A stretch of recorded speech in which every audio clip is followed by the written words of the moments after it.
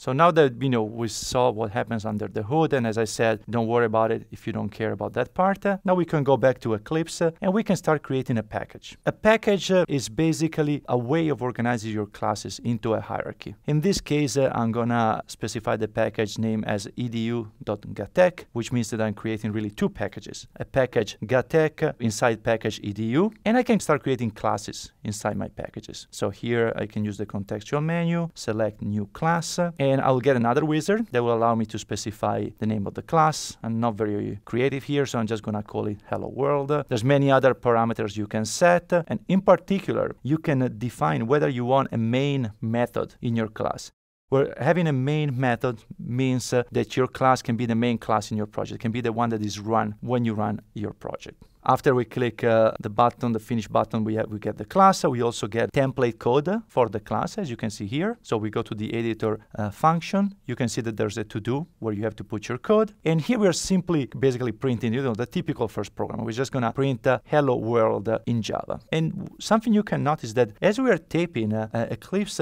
gives us auto-complete suggestions, which is very helpful. For example, in case you don't remember the exact syntax of a method or you don't remember the parameter, parameters of the method, which is you know often the case, especially where you work uh, with large libraries. So having that feature can really, really help you. So now if we want to run our code, we can either click on the button up here or we can right click uh, in the code window and select run as Java application. And if we do that, Eclipse will run our tool and it will create, as you can see here, a console view that basically contains the textual output of my program. And as expected, the output is hello world.